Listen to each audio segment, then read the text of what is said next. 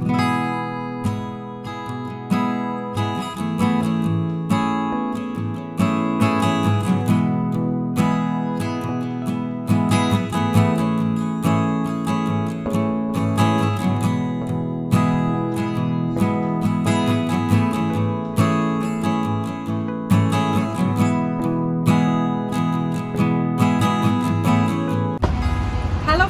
Welcome back to my channel Kitchen Studio. Hope you all are doing really well.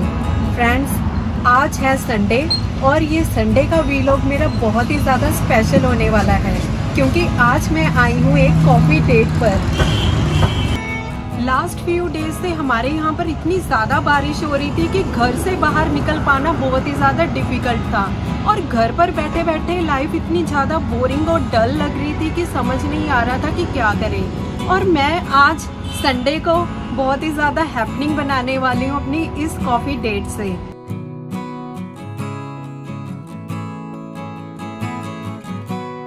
आप इस video में मेरे साथ एंड तक बने रहना, क्योंकि इस वीडियो में मैं आपके साथ शेयर करने वाली हूँ अपना कुछ पर्सनल एक्सपीरियंस हस्बैंड वाइफ के रिलेशनशिप के बारे में। क्योंकि हस्बैंड वाइफ का जो रिलेशनशिप रहता है, वो बहुत ही ज़्यादा सेंसिटिव होता है। और इसके बारे में मैं आपके साथ कुछ बातें शेयर करना चाहती हूँ।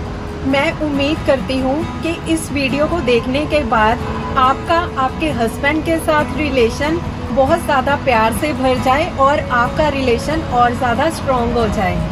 मैं ना कुछ दिनों से घर पर बैठे बैठे कुछ सोच रही थी। मेरे दिमाग में ना कुछ चल रहा था।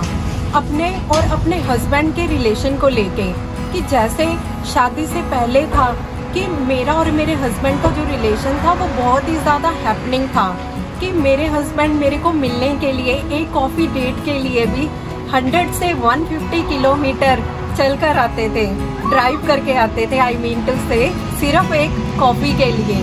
तो मैंने ये चीज़ सोची कि अभी अगर मैं उनको बोलूँ तो हम लोग अपने कंफर्ट जोन से बाहर ही नहीं आते हैं। हमें लगता है कि चलो, घर पर ही बैठकर हम कॉफ़ी पी लेते हैं। बट ये चीज़ें बहुत ज़्यादा गलत है। इससे जो आपका रिलेशन है, वो बहुत ज़्यादा सफ़र करता है। अगर आप अपने कंफर्ट जोन में ही बैठे रहोगे और अपनी वही रिस्पॉन्सिबिलिटीज़ के साथ ही बंधे रहोगे तो आपका रिलेशन ऑफ़ कोर्स डल हो जाएगा।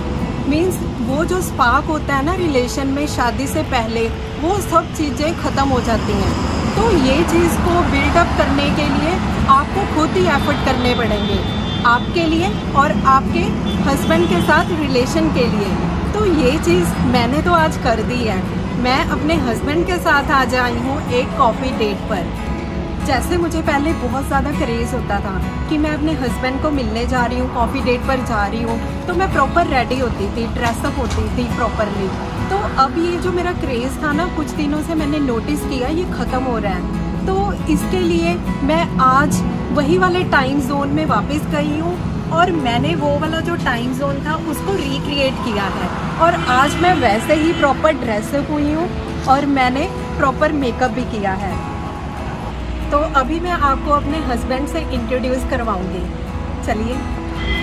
Hello hello everyone I hope you all are doing really well yes so friends please subscribe her channel and please do like all her videos and keep supporting us by liking sharing and commenting thank you so much have a happy Sunday अगर आपको आज की video अच्छी लगी हो तो like कर देना और मिलते हैं बहुत जल्दी ही नेक्स्ट वीडियो में. Till then bye lots of love